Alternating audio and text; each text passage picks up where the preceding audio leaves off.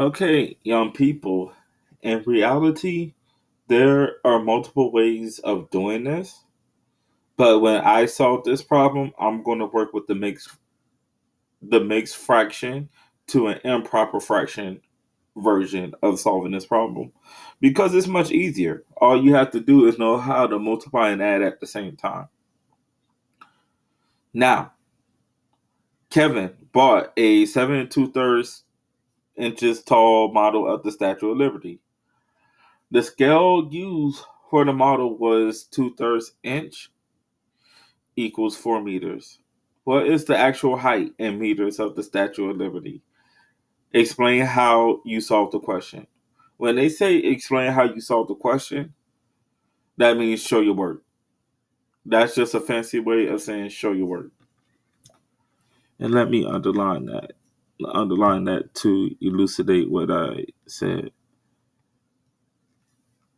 This is a longer way of saying show your work. Now, what I have to do in order to make this easier to digest, I have to turn the seven third seven and two thirds into a fraction. Into an improper fraction. Let me say his name correctly.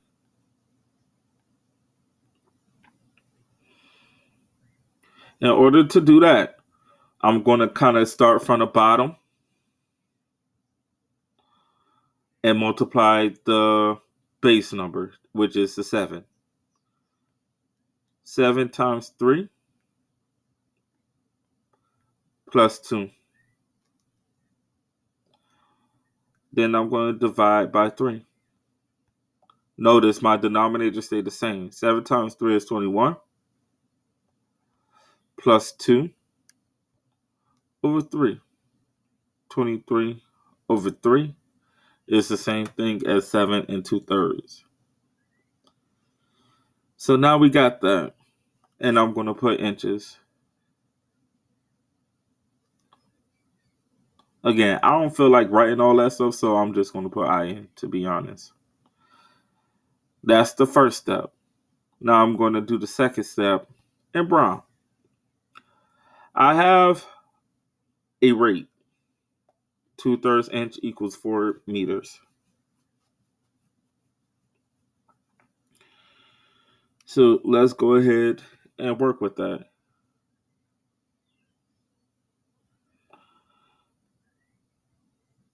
I have 23 over 3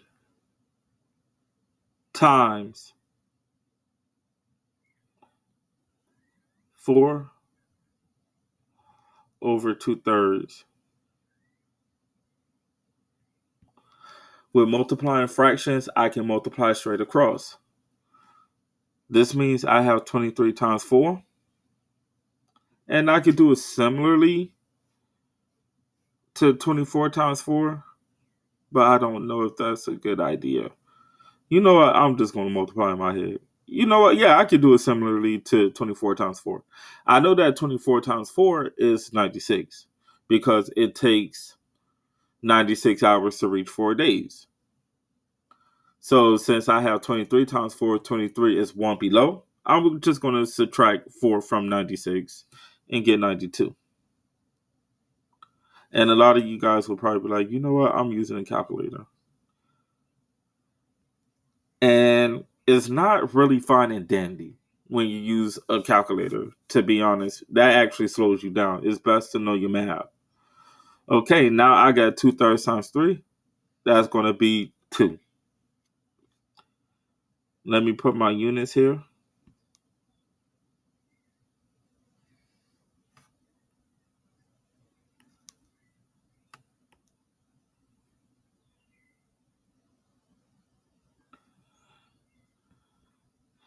The inches cancel out because you got one inch on the top and another inch on the bottom of a fraction.